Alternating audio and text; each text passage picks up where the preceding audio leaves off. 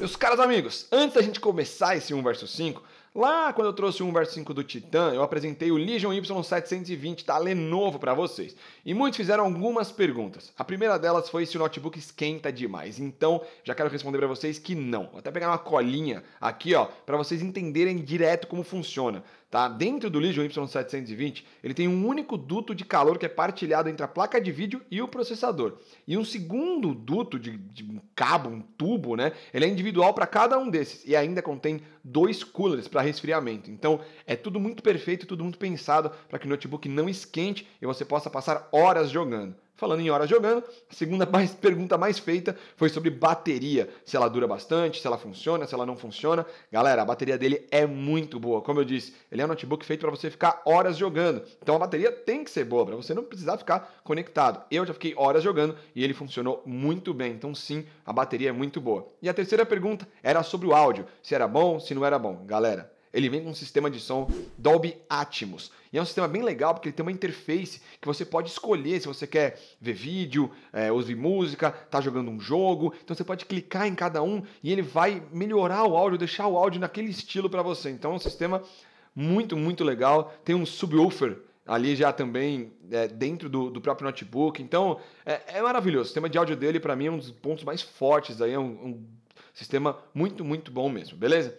E claro, eu tenho mais um outro recadinho que é sobre uma pesquisa aí que eu estou fazendo. Vou deixar o link da pesquisa na descrição. Se você quiser participar, são quatro ou cinco perguntinhas falando sobre periféricos, equipamentos, essas coisas de computador. É coisa bem rápida, bem rápida mesmo. Se você puder responder, vai me ajudar bastante, beleza? O link está na descrição. Agora, ficou 1 versus 5 do Kami.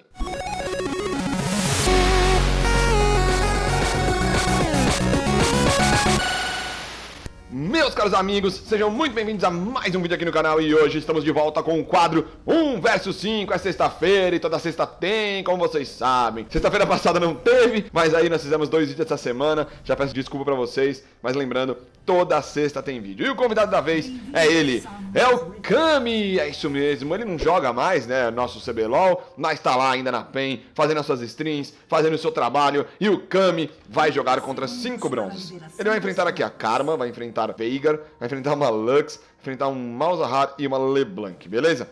Lembrando que as regras do 1 vs 5 ficaram um pouco diferentes. Na questão de vitória ainda é a mesma coisa, para o Kami vencer ele precisa eliminar os 5 bronzes, para os bronzes vencerem ele precisa eliminar o Kami, ou ambos destruir o Nexus pela rota do meio. Lembrando que cada bronze morto não pode voltar para o jogo. Os bronzes só podem dar recal a partir dos 7 minutos de jogo. Então, antes disso, se tomar dano da torre, etc., eles não vão ter muito como se recuperar. O Kami pode dar recal a hora que ele quiser.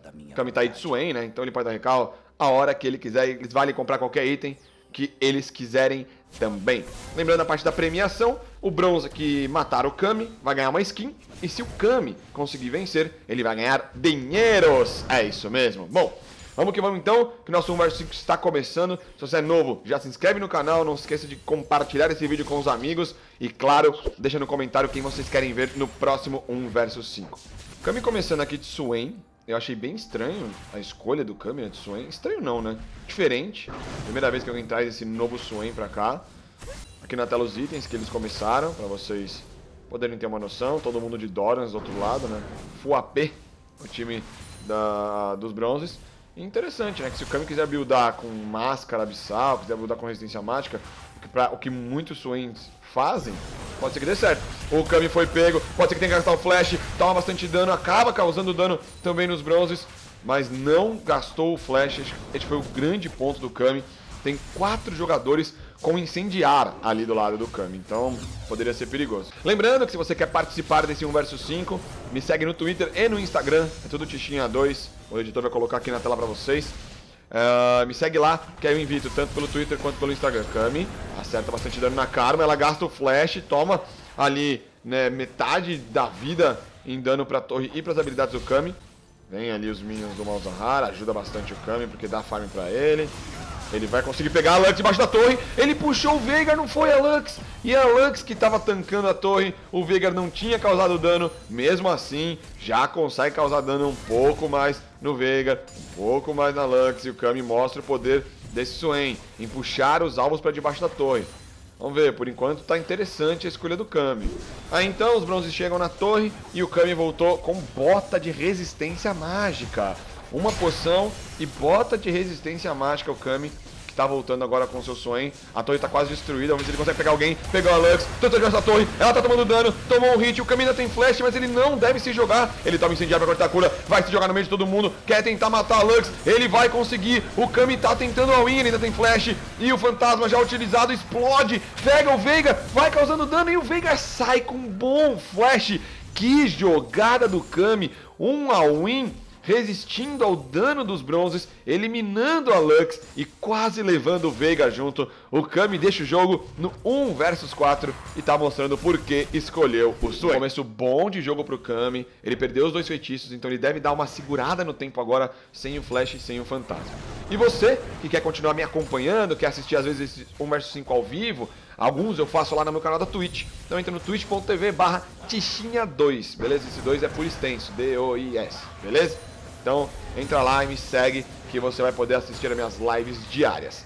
O Kami toma ali um silenciar, mesmo assim nada tão prejudicial. O Kami vai ser pego, mas antes disso ele vai tentar pegar os dois jogadores. Ele já ulta, vai em direção aos quatro jogadores. O Kami ultado, dando seus ataques o poder da explosão é forte. O Kami vai saindo. Ele vai tentar explodir para eliminar o Veigar. O foco é no baixinho, é no anão. E ele consegue o abate em cima do Veigar. Os bronzes não tem dano para causar em cima do Swain do Kami. E ele consegue um abate incrível, deixando o jogo no 1 versus 3. O Kami quer mais.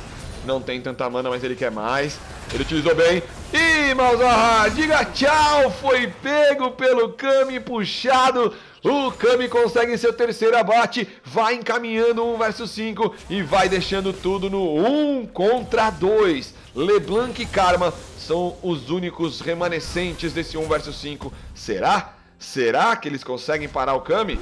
Acertou! Acertou! Ele pode ser o momento agora, ele tem ultimate! Vai em cima da LeBlanc! Não deu flash ultimate! A LeBlanc sai com a sua distorção. Teve o incendiário da Karma sendo utilizado para cima do Kami. E o Kami joga de maneira mais segura. Ele não conseguiu o all-in na hora que queria.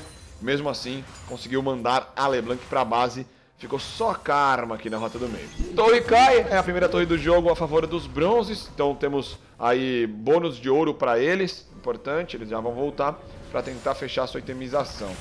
O Kami vai utilizando todas as habilidades ali para farmar. Os dois bronzes dão recal. Momento do jogo do Kami agora é de empurrar.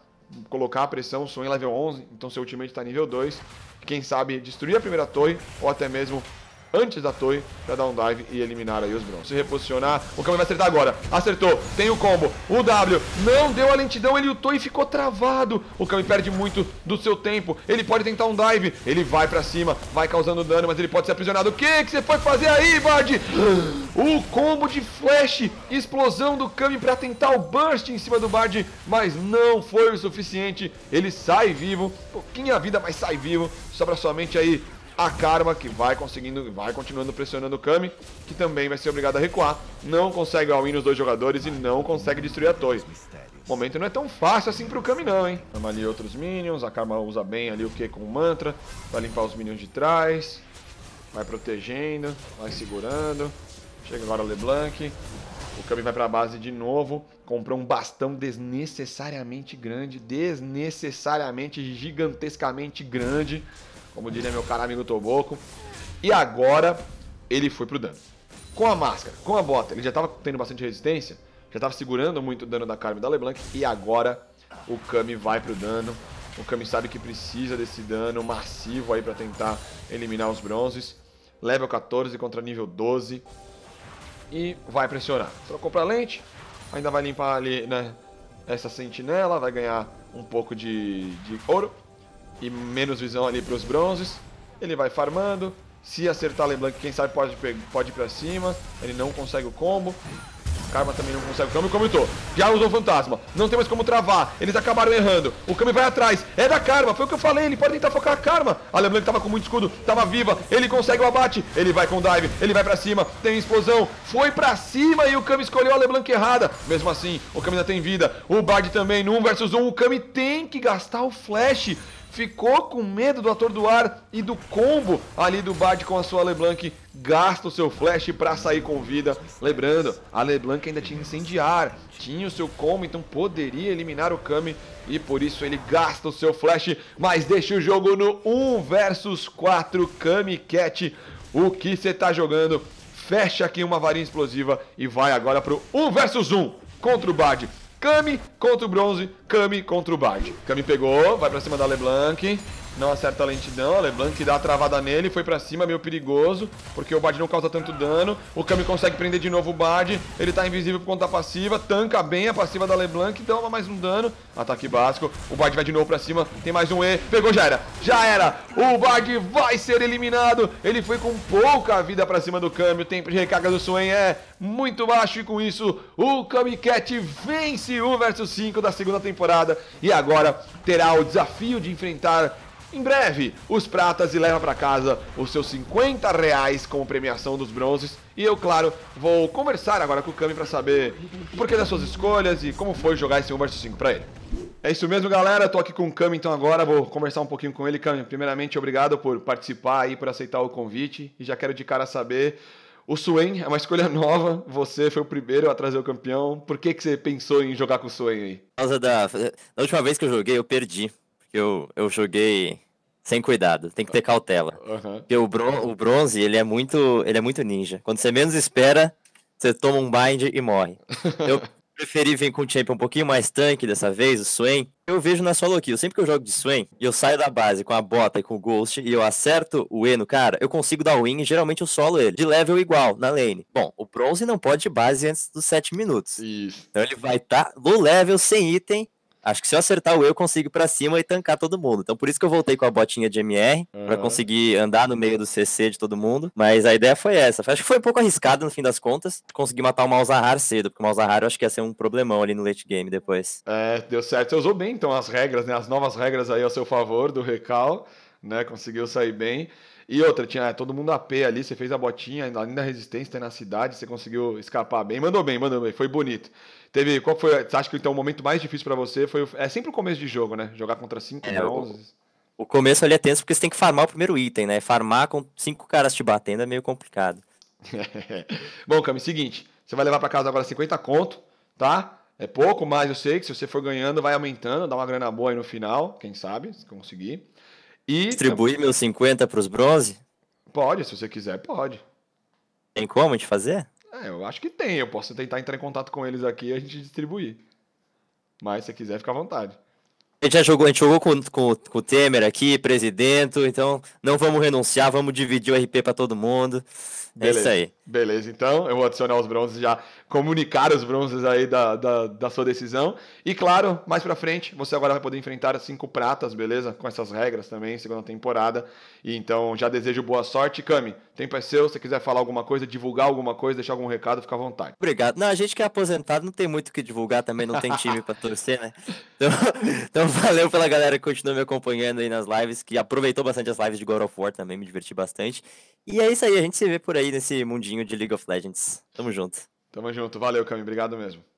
É isso então, galera. O Kami acabou vencendo o versus 5 contra os pratas. Doou a sua premiação aí para os bronzes. Então, vou entrar em contato e avisar os bronzes que eles vão ganhar umas skins. Aê! É isso aí, então. Galera, espero que vocês tenham curtido esse 1 versus 5. Deixem nos comentários quem vocês querem ver no próximo 1 versus 5. Não se esqueçam de me seguir lá na Twitch, né, para as lives e no Twitter e no Instagram para participar aqui desse 1 versus 5, beleza? Muito, muito, muito, muito.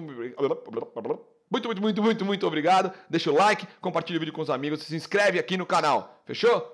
Grande abraço e até a próxima. Valeu!